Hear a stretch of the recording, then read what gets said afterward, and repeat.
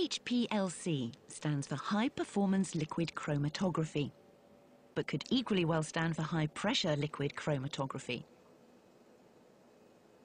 It is used for separating mixtures, either to analyse the mixture or to separate a required product from others in a reaction mixture. It can also be used to find the relative amounts of different components in a mixture. HPLC works on the same principle as paper chromatography, here shown speeded up. A liquid, called the mobile phase, moves past a solid, the stationary phase. In paper chromatography, this stationary phase consists of water molecules bound to the cellulose in the paper. The mobile phase carries different components of a mixture, called the sample, along with it at different rates. How fast each one moves depends on its relative affinity for the mobile and the stationary phases. For example, if the mobile phase is more polar than the stationary phase, the more polar components of a mixture will tend to move more quickly than the less polar ones. In HPLC, the stationary phase is a solid packed into a column, like one of these.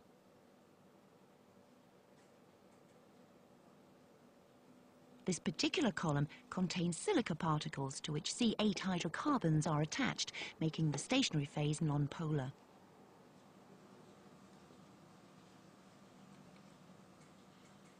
In paper chromatography, the solvent moves along the paper by capillary action. In HPLC, the liquid is forced through the column by high-pressure pumps. The whole apparatus looks like this. These bottles contain solvents.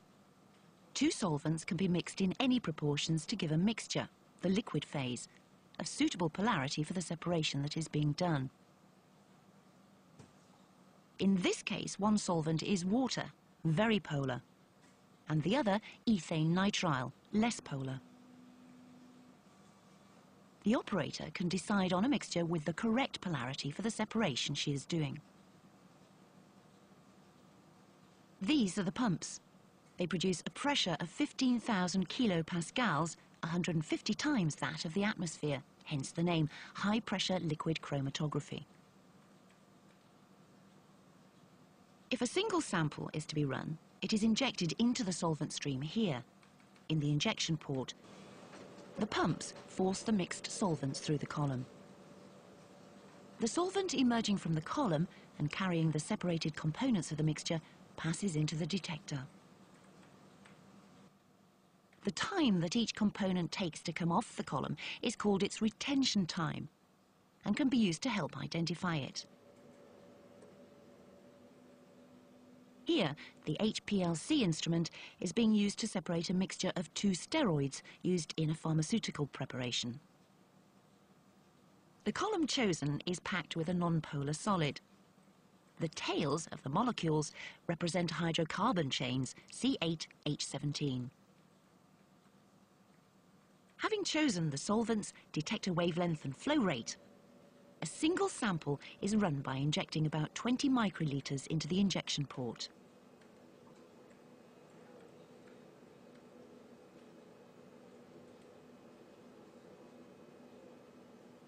The more polar component comes off the column first, followed by the less polar. The peak at retention time, 1.5 minutes, represents other ingredients used in formulating the product. This is the pharmaceutical product, and behind it, its chromatogram.